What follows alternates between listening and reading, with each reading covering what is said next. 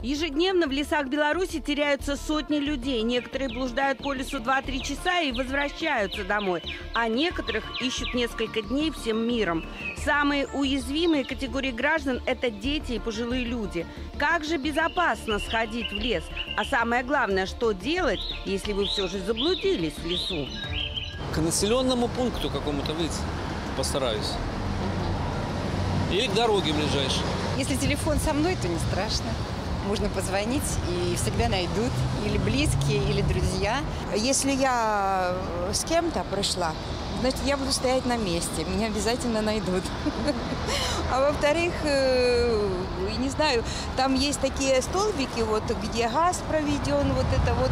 И надо идти по этим столбикам, меня муж всегда учил. И тогда выйдешь на дорогу. По солнцу обычно я всегда ориентируюсь. Если я заходила, мне солнце светило, допустим, в спину, значит, оно мне, если время прошло длительно, оно мне должно будет светить уже обратно в спину. Потому что оно крутится, а я иду. Я бы пошел там, где шумно. Сколько людей, столько мнений. А что же все-таки советует специалист специализированной спасательно-поисковой службы «Ангел»? Если вы собираетесь в лес, обязательно в первую очередь вы сообщите своим родным и близким, куда, зачем вы направились и в какое время вы вернетесь дом- э, домой. Обязательно возьмите с собой заряженный мобильный телефон. Обязательно возьмите с собой воду, э, возьмите что-нибудь на перекус. И таблетки, если вы принимаете какие-то медикаменты от давления либо от сердца, обязательно положите к себе в карман. Еще одно правило, которым не следует пренебрегать – это правильная одежда. В лес вы идете не на охоту, а собирать грибы, поэтому камуфляж ни к чему. Одеваться нужно ярко, чтобы на фоне зеленой листвы вас было хорошо видно. Обязательно должны быть закрыты участки тела. Не должно быть голых ног либо голых рук. Не забудьте про резиновые сапоги. Помните, змеи не дремлют.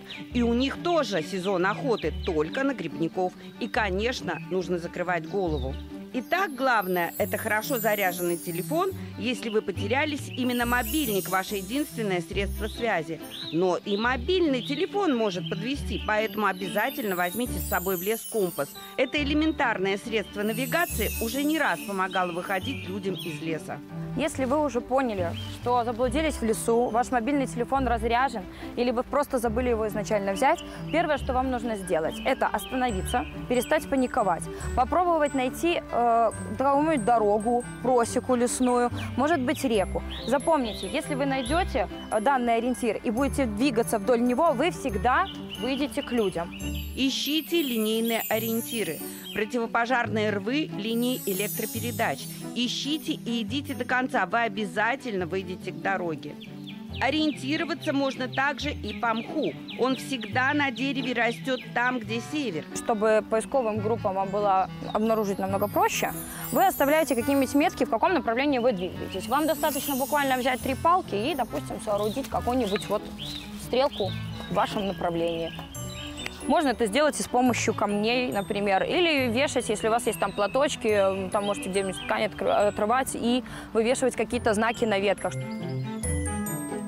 В лесу все очень хорошо слышно. Потерялись? Внимательно прислушивайтесь. Услышали шум? Идите на него, и вы обязательно выйдете из леса. Если вы слышите отдаленно звук, например, автомагистрали, дороги, э, либо э, ЖД-путей по по- проезжающего состава, вы можете двигаться на звук. И точно так же в дальнейшем выберетесь к любому населенному пункту. К примеру, работающий трактор слышно за 4 километра, собачий лай за 2-3 километра, а шум идущего поезда за 10. Если уже в лесу начинает темнеть, а вы до сих пор э, не выбрались, не нашли дорогу, то советую оставаться на месте, не усугублять ситуацию и устраиваться на ночлег. Еще нужно помнить, идете в лес на день, берите запасов на пару. Обязательно в корзинке спички, запас воды и минимальный запас продуктов. А вот есть незнакомые ягоды и грибы категорически нельзя. Вот такие простые правила поведения в лесу. Зарядили телефон, сообщили родственникам, куда, с кем и насколько вы идете, а главное, когда планируете вернуться, берегите себя.